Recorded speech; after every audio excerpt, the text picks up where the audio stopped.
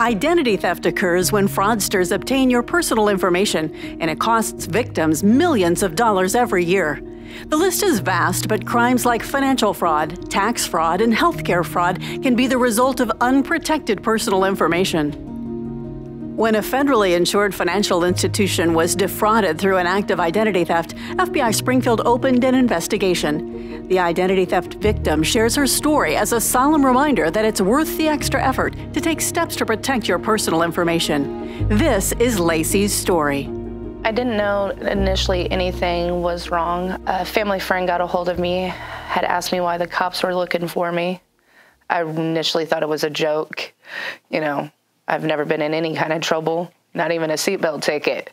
And she goes, No, there is um, the chief of police of Oblong is looking for you. He had told me that he needed me to come into his office. Um, my name had been brought up in an investigation that he was doing. Um, I was terrified because I had never been in any kind of trouble. And he's like, "No," he goes, "I just think you're you're actually a victim, and not um, the person that's involved. He had pulled out a file folder, probably a good two or three inches thick, and I just got sick. And it was check after check after check. And at the bottom of the pile was my driver's license.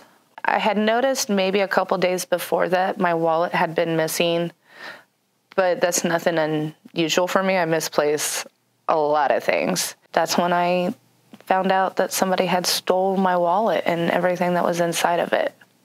On the day of the crime, Lacey made a stop at a local retailer, leaving her wallet on the front passenger seat and the car unlocked. We live in a small town.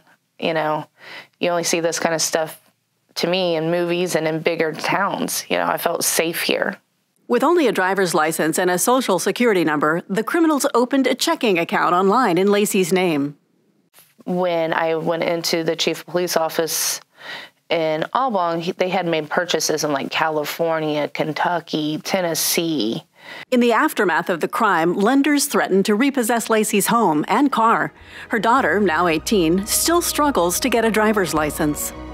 I can't even get a simple loan because my credit has been destroyed. I don't trust nobody a lot of people, you know, trust has to be earned. I gave trust until you broke it. It may take a few years for everything to fall off my credit report. Identity theft can occur in a variety of ways, from online scams to something as simple as stealing a wallet. Lacey is the first to admit that it was careless to leave her personal information in such a vulnerable location don't think just because you live in a small town that this can't help happen to you. Remember, you are the best protector of your identity. To keep your personal information safe, follow these guidelines.